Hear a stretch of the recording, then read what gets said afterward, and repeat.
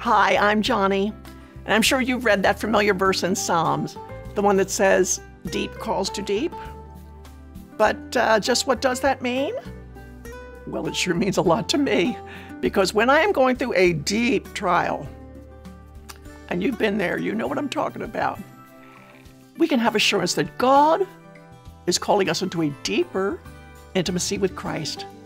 Deep calls to deep, and a really close relationship with Jesus it just doesn't happen overnight. So here's my point it takes faith to accept a deep, deep trial. But it takes perseverance to find deep intimacy with Jesus in that trial.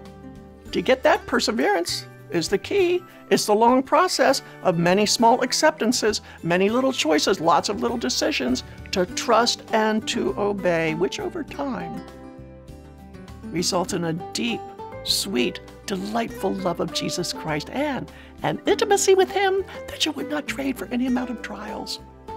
So, hey, persevere through that deep trial that you're in right now. A deeper devotion to your wonderful Savior is on your horizon.